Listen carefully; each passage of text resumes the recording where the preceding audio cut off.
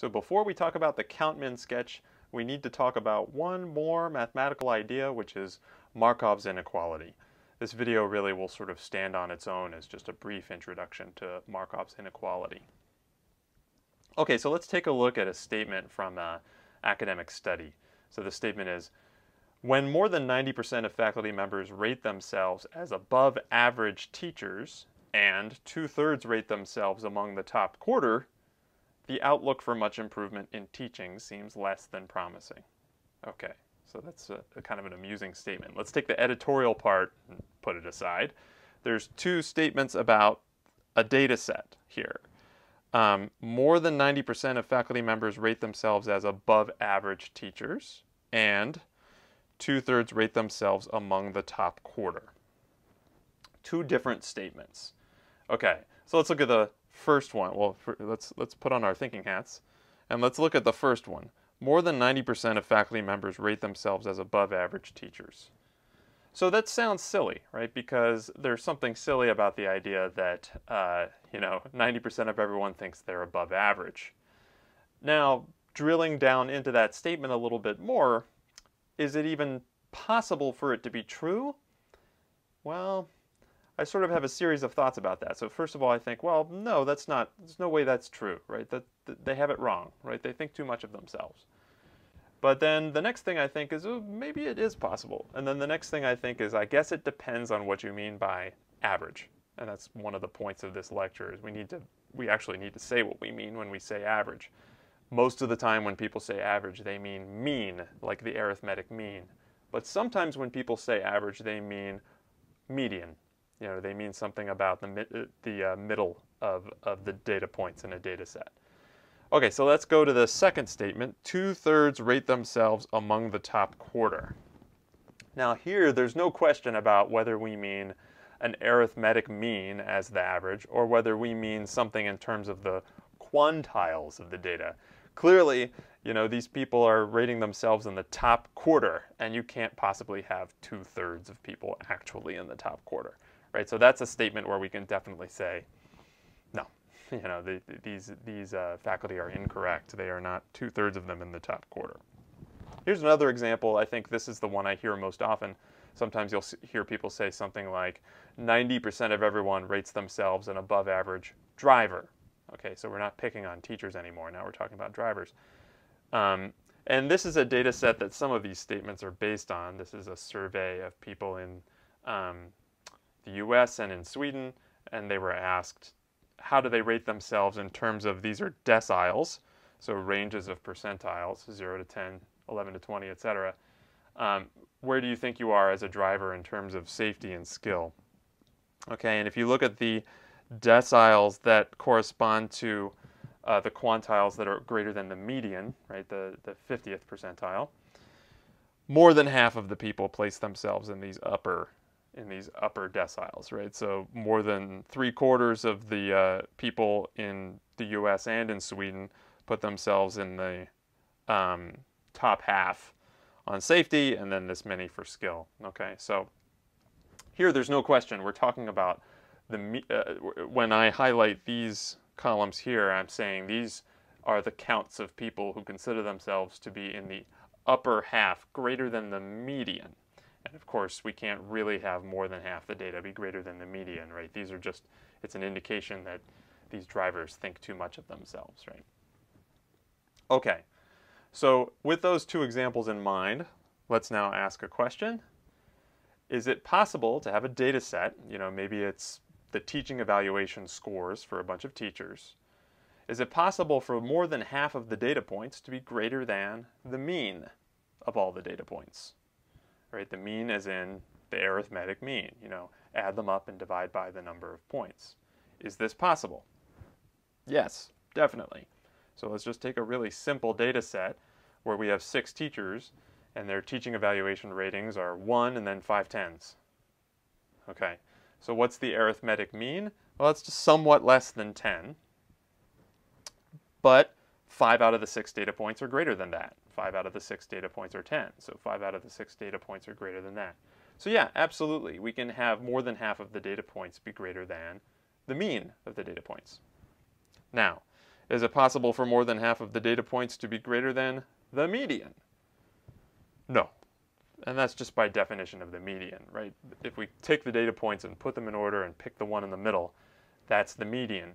If we say that more than half of the data are greater than the median, that means it's not in the middle, right? So it's uh, it, the contradiction means that no, this is not possible. Okay, so there's a big difference between whether we're talking about mean or median here.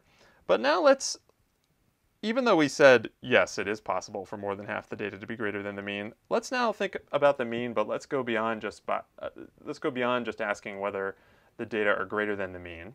Let's ask if the data are much greater than the mean. Okay, so here's a related question. Is it possible for more than half of the data to be more than twice the mean?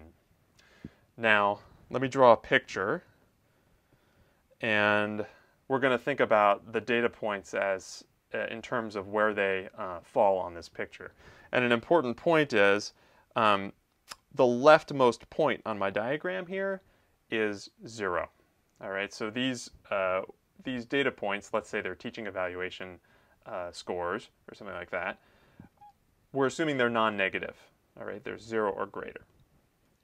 Okay, so in those circumstances, is it possible for more than half the data to be greater than the mean? In other words, uh, let's just uh, put some of the data points right here. Let's just draw sort of like a peak here, right? So there's some number of data points out here just beyond the mean times 2. Okay? And now let's say, okay, well, in order for this to be possible, I kind of need to sort of like counterbalance it as, as best as I can on the low end so that the mean ends up being uh, here in the middle. Uh, so where do I want to put the rest of the weight? I want to put the rest of the data points sort of as close to zero as I possibly can. But it won't work, right? Because even if half the data points are here and half the data points are here, the fact that this is beyond the mean times 2 means that the mean is going to have been dragged a little bit to the right. It's not going to be on that point in the middle. It's going to be dragged a little bit off to the high end of the scale. All right? So this isn't possible. It's not possible for more than half of the data to be greater than two times the mean in this situation where the data are all non-negative. Okay? Likewise, it's not possible for um, a third of the data, for, for more than a third of the data, to be more than three times the mean. Same reason, right? It'll drag the mean higher. It's a contradiction because you'll have dragged the mean higher, right? So it's not possible for more than a third of the data to be over three times the mean. It's not possible for more than a quarter of the data to be more than four times the mean, etc. To our equation for Markov's inequality, which says that for a non-negative random variable x, so you can think of this random variable as representing the data set um, in our previous examples, and it's important that it's a non-negative random variable. All right. The probability that a value from the data set is greater than or equal to b times the mean, b times the expected value, is at most 1 over b. That's a little bit like saying for a concrete data set that the fraction of data points that are greater than b times the expected value is at most 1 over b. Okay, but we've just sort of shifted into talking about it like a random variable. Okay, so this matches the uh, way that we were phrasing it before when we said no more than half the data can be twice the mean and no more than a third of the data can be three times the mean. There's another popular way to write this down, though, if we just do a little change of variable. Let's let a be b times the expected value of the random variable. Okay. Then the probability now that x is greater than or equal to a, this new variable, is at most. Now I need to take the 1 over b that we had up here and figure out what it is after this change of variable. Well, it looks like divide both sides by b, divide both sides by a, that's going to turn out 1 over b is going to be expected value of x over a. So that's another way to write it that you'll see. Okay, now we say early on that our random variable x has to be non-negative. So why does it have to be non-negative? Well, let's say let's say for a moment that x doesn't have to be non-negative. It could take on positive or negative values. Right? We're trying to make a statement about what fraction of the data is allowed to be extreme, is allowed to be greater than some number times the expected value.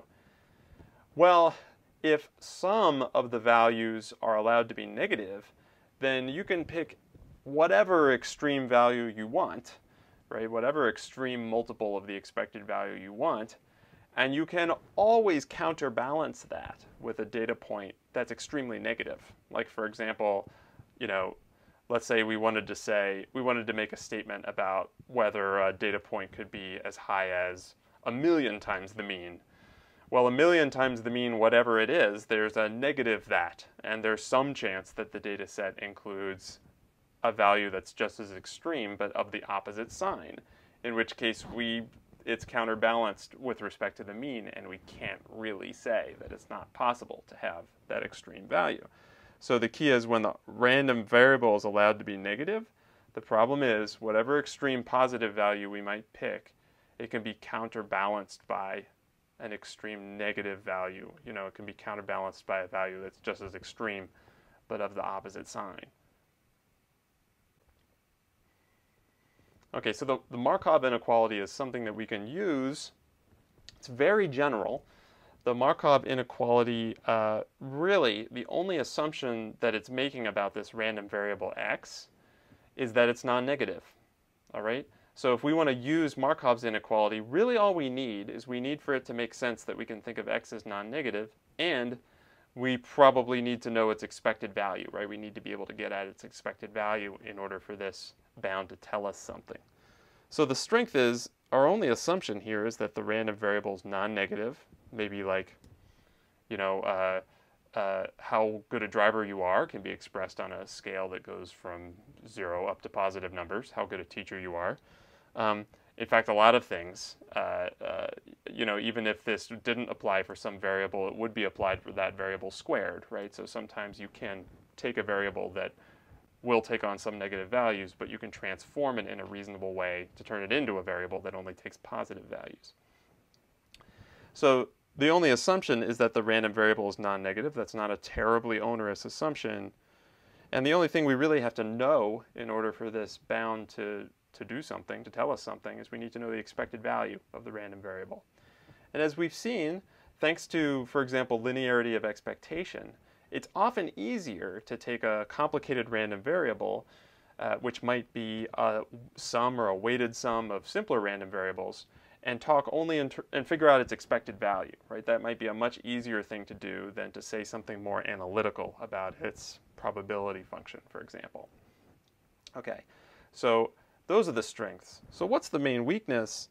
The weakness is that this isn't always really a tight or useful bound. So like the example I uh, like to give is, um, let's say we have a room full of kindergarten children, uh, 10 kindergarten children, and we know that their average age um, is five and a half years old, right? So they're sort of, uh, uh their average age is five and a half.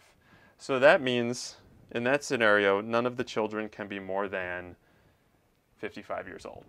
Okay, well, Thank you. Uh, I think we knew that already, right? In other words, in this scenario where we're talking about a room full of kindergarten children, we don't just, in, in a typical scenario, we don't just know the expected value. We don't just know the average age of the children in that room. We just know, because of the scenario, because it's a kindergarten classroom, that they're within a tight range. We know they're probably, some of them are five and some of them are six, and maybe some of them are a little bit older or younger. But we know they're not all over the map. We know there's no 55-year-olds in a kindergarten room, uh, unless they're the teacher.